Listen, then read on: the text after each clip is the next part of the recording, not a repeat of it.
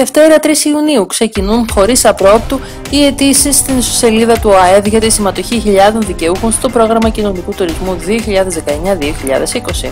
Ο κοινωνικός τουρισμός είναι ένα πρόγραμμα επιδότησης για τη διαμονή δικαιούχων και των ωφελουμένων μελών τους σε τουριστικά καταλήμματα της χώρας από 1 έως 5 μέρες, ενώ η διαμονή μπορεί να φτάσει έως και τις 10 μέρες, εφόσον επιλέγουν τουριστικά καταλήμματα των νήσων Λέσβου, Χίου, Σάμου, Λέρου και Κόμ.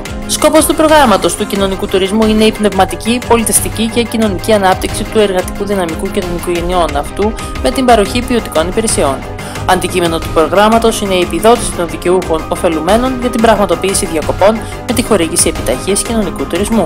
Οι δικαιούχοι του προγράμματος του κοινωνικού τουρισμού της περίοδου 2019-2020 φτάνουν φέτος στις 140.000. Η διάρκεια του προγράμματος ορίζεται σε 12 μήνες. Οι ημερομηνίες έναρξης και λήξης του προγράμματος ορίζονται στην δημόσια πρόσκληση.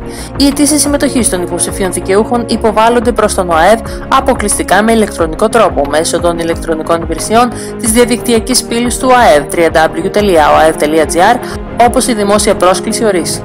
Σε περίπτωση υποβολής αίτησης με τρόπο διαφορετικό από αυτόν που ορίζεται στην πρόσκληση, η αίτηση δεν λαμβάνεται υπόψη. Οι ηλεκτρονικές αιτήσεις υποβάλλονται μέσα στην προθεσμία που ορίζεται ρητά στη δημόσια πρόσκληση. Μετά τη λήξη της προθεσμίας δεν είναι δυνατή κάθε υποβολή αιτήσεων.